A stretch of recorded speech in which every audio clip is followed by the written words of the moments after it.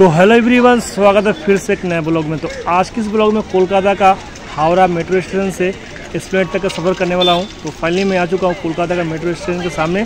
तो अब इस हावड़ा मेट्रो स्टेशन के अंदर एंट्री करते हैं और प्लेटफॉर्म पर चलते हैं टोकन लेते हैं और रवाना होते हैं हावड़ा टू स्प्लेट के लिए। तो चलिए चलते हैं, इस ब्लॉग को शुरू करते हैं और इंडिया का फ़र्स्ट अंडर वाटर मेट्रो का सफ़र करते हैं। और ये हावड़ा मेट्रो प्लेटफॉर्म में जाने का रास्ता। तो चलिए चलते हैं। इसके अंदर एंट्री करते हैं और हावड़ा मेट्रो प्लेटफॉर्म में चलते हैं।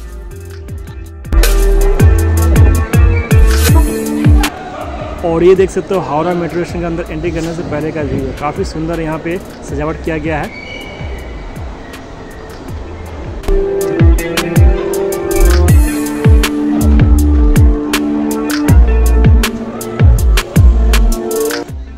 फाइनली कोलकाता का हावड़ा मेट्रो स्टेशन में चलाया तो यहाँ पर देख सकते हो तो कितना क्राउड है, क्योंकि गर्मी के दिनों में काफ़ी लोग मेट्रो से सफ़र कर रहे हैं।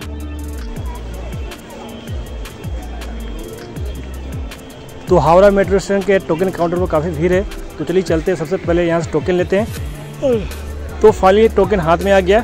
तो अब चलते हैं प्लेटफॉर्म पर और इंडिया का फ़र्स्ट अंडर वाटर मेट्रो का सफ़र करते हैं।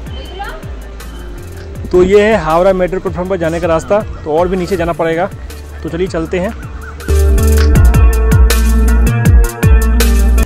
तो फाइनली हावड़ा मेट्रो स्टेशन के प्लेटफॉर्म पे आ गया। तो ये देख सकते हो प्लेटफॉर्म का व्यू यहाँ पे काफ़ी सारे पैसेंजर वेट कर रहे हैं ट्रेन के लिए। तो जब तक ट्रेन नहीं आता, तब तक आपको प्लेटफॉर्म का व्यू दिखाना चाहूँ। तो फाइनली ट्रेन आ गया तो ट्रेन पे चढ़ गया इंडिया का फ़र्स्ट अंडर वाटर मेट्रो में।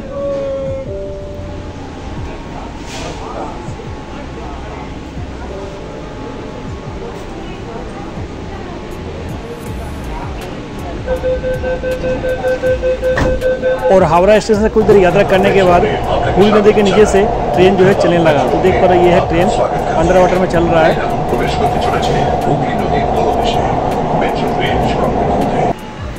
तो अंडर वाटर मेट्रो का सफ़र करते हुए फाइनली अपना डेस्टिनेशन पे पहुँच गया।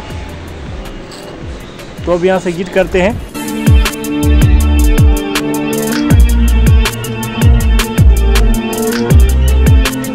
तो ये था गाइस इंडिया का फ़र्स्ट अंडर वाटर मेट्रो का मेरा फ़र्स्ट सफ़र। तो आई होप कि आज का ब्लॉग पसंद आया होगा, पसंद तो लाइक कीजिए। और अगर आप मेरे चैनल पर नए हो तो चैनल को सब्सक्राइब कीजिए। आज का ब्लॉग यहीं पे एंड होता है। मिलते किसी नए ब्लॉग के साथ।